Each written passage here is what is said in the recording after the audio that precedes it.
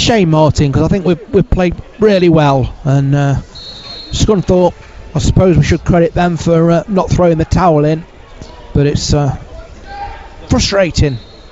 2 2. Uh, remember, Mansfield will still win the group, uh, providing Scunthorpe don't score two more. Uh, but Scunthorpe have now done enough to go through, unless, unless, because Graham is coming forward to Mansfield, lays it off to Elsnik. Elsnik forward into the area. Elsnik chips it over the keeper, and it's going to go into the net. And Mansfield are in front. Then it's Timi Elsnik who fires into the net just 30 seconds after Scunthorpe equalised. Timi Elsnik goes forward and he chips it over the keeper. A defender tries to clear it on the line, but can only knock it into his empty net. And Mansfield are back in front front just 30 seconds after being pegged back 90 minutes onto the clock it's Mansfield Town 3 Scunthorpe United 2 what a response from the Stags what a brilliant brilliant response deflation in the air at conceding that equaliser after being 2-0 up.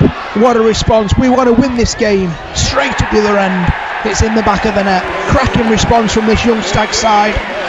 3-2 We're going to settle for a draw.